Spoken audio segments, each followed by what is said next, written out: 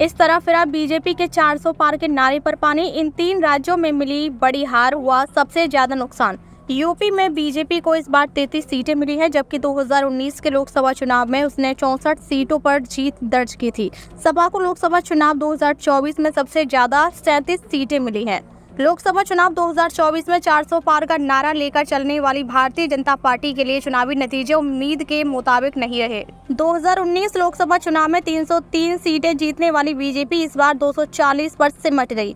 Party को कई राज्यों में भारी नुकसान उठाना पड़ा। भाजपा को अधिकतर नुकसान उन राज्यों में हुआ है जो कभी उसके प्रचंड बहुमत का कारण थे। ऐसे में पार्टी इस बात पर मंथन कर रही है कि आखिर कहाँ चूक हुई? फ़िलहाल हम आपको बता रहे हैं तीन ऐसे राज्यों के बारे में जहाँ बीजेपी को सबसे बड़ी हार या यूँ कहें कि सबसे ज़्यादा नुकसान उठाना पड़ा है। पहला उत्तर प्रदेश में सबसे बड़ा झटका। बीजेपी को सबसे ज़्यादा नुकसान उत्तर प्रदेश में ही उठाना पड़ा है। यहाँ पार्टी को तैतीस सीटों पर जीत मिली है, जबकि 2019 के लोकसभा चुनाव में उसने चौसठ सीटों पर जीत दर्ज की थी।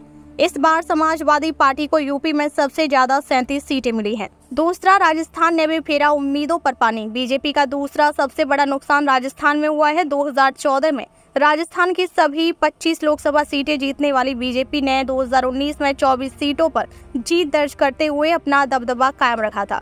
लेकिन इस बार यह खत्म हो गया है। बीजेपी को यहाँ 14 सीट पर जीत मिली है और उसे 10 सीट का नुकसान उठाना पड़ा है। कांग्रेस के खाते में आठ सीटें आई हैं। तीसरा पश्चिम बंगाल में भी हुआ नुकसान। बीजेपी को तीसरा झटका पश्चिम बंगाल में लगा है। तमाम एग्जिट पोल में दावा किया जा रहा था कि भारतीय जनता पार्टी को यहाँ सबसे ज़्यादा सीटें मिलेंगी, लेकिन उससे उलट यहाँ बीजेपी को सीटें कम हो गई। इस बार बीजेपी को पश्चिम बंगाल से 12 सीटें मिली हैं, जबकि 2019 लोकसभा चुनाव में बीजेपी ने यहाँ 19 सीटों पर जीत दर्ज की थी। यहाँ तृणमूल कांग्रेस को 29 सीटों पर जीत मिली है।